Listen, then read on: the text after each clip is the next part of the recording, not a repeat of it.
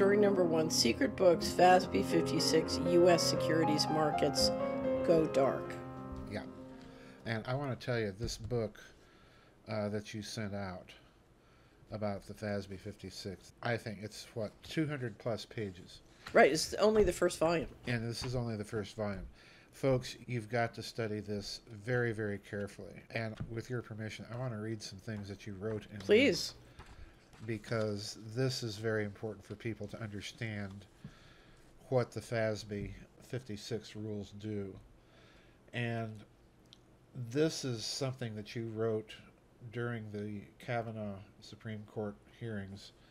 This is on page 36, and this kind of, to my mind, sums up what the FASAB 56 regulations really do. And this is what you said, quote, the U.S. government just officially changed its governance model from a constitutional republic to fascism through an obscure accounting policy.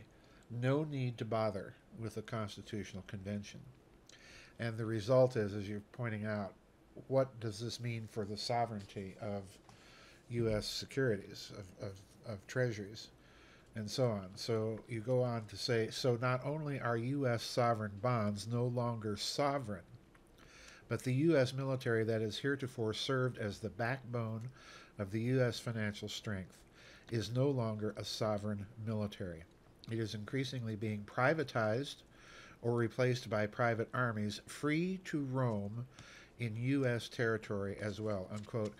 And the thing here that grabs me about that statement is that this is an accounting procedure which really does make that possible. And in turn, privatization of, of security, of the military, in effect, is an end run around posse comitatus Right. clause. Right. And if that's the case, that means any local, state, or other jurisdiction can hire these private armies and, and use them in order to enforce the status quo. This is very, very bad. Right, it's very frightening. It's It's, very basically, it's as though you, you took the U.S. Treasury and turned it over to the mob Yep. and gave them permission to do whatever they want in Yep. secret. Exactly.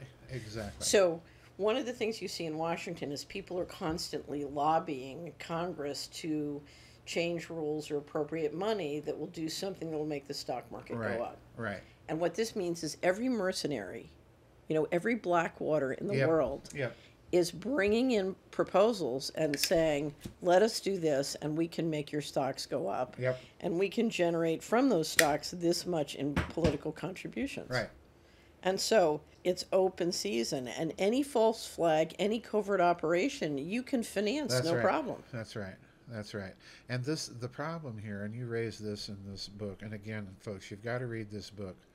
Uh, don't just put it on the coffee table. This is actually something to study and really absorb. Can I just mention, since you say that, you're going to have a way for your members to buy it. So it's Right. subscribers only. The Right. Giza Death Star members are going to have a vehicle, a way they can, buy. right. they And can let me buy it. encourage you again to put this up on Lulu for the general Well, public. eventually, eventually we will. Right.